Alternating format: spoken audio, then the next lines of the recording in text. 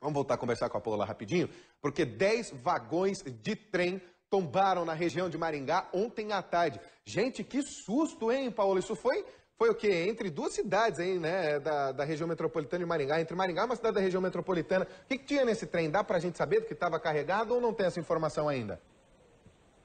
Nós não temos a confirmação se esses vagões de trem estavam realmente carregados ou não, mas o que a gente consegue perceber é que são vagões que transportam combustível, então existe a chance deles estarem carregados com etanol.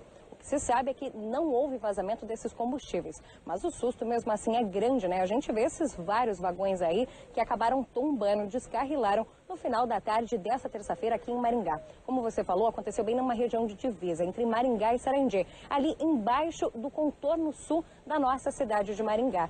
Esse trabalho para tentar destombar o trem foi por noite adentro, Rivaroli, muito trabalho, muitos funcionários tiveram que ir até lá e máquinas né, pesadas para ajudar. Não se sabe ainda o que aconteceu para que esse trem descarrilhasse. O que a gente pôde perceber nas imagens é que algumas rodas pareciam estar soltas. Isso significa que ou seria falta de manutenção ou então alguém que quis sabotar mesmo o trem, então causar esse tombamento. A empresa que administra esses vagões, responsável pelos vagões, não quis se pronunciar a respeito desse caso. Mas felizmente, sem vazamento de combustível, sem nenhum risco maior para a segurança de todas as pessoas que transitavam ali no contorno sul ou então que moram na região.